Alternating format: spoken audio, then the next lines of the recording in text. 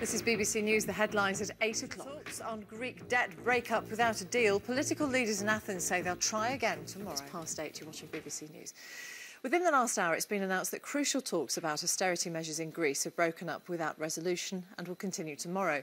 The government is trying to push through hugely unpopular reforms which are needed to secure the country's next bailout, but their coalition partners are refusing so far to do a deal. Well, for more on this, we can speak to Dr. Roman Gerodimos. He's the founder and convener of the Greek Politics Specialist Group, which is a non-profit network of Greek political experts.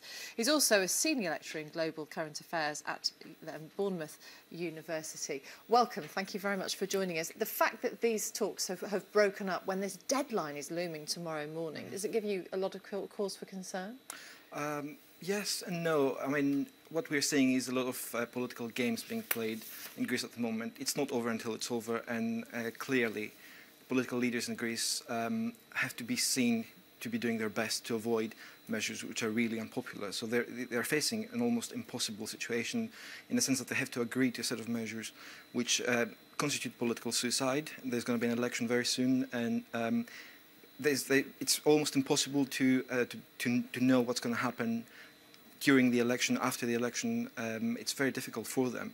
And I genuinely think that they probably think that, that measures are not right for Greece. So uh, that's one part of, of the negotiation. And they negotiate with the social partners in Greece, they negotiate with uh, the Troika, then there's the private creditors. So there's a lot of, a lot of actors involved in the negotiations. It's a very complicated um, negotiation taking place. But some of the sticking points are quite baffling to those mm -hmm. of us mm-hmm. outside of Greece.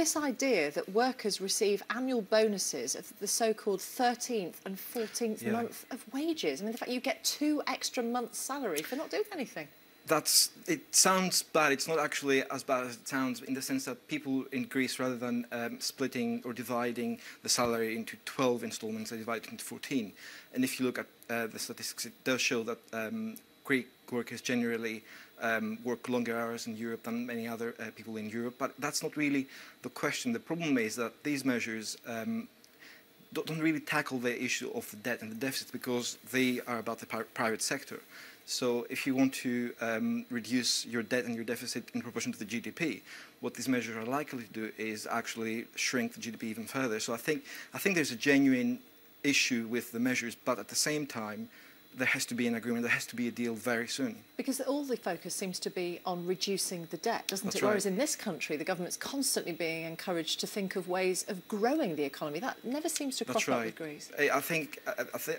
as I say, this is a substantive issue, but I don't think we're going to hear a lot about growth or, or sustainability at the moment. I mean, it's a very difficult situation for everyone involved, and um, they have to be seen to be taking action very, very uh, swiftly. And, and, let's be honest, they are going to have to agree pretty much to what the I international so, yes. lenders, uh, if I they think, want this money, yeah. they, then they need this money, don't they? Very I badly. think so, yeah. I wouldn't be surprised if there's a, some sort of deal tomorrow uh, lunchtime or later in, in, the day. I mean, um, it's very difficult. The only problem is that the, the Greek political leaders are almost in a prisoner's dilemma situation. If one of them gets out of the, of the negotiation and, and looks like the good guy, as it were, then the other two are going to look very bad politically. So they all have to either agree to it or disagree to it. Are there any concessions that you can imagine the, the Greek government will win that will the international partners will be happy to agree to?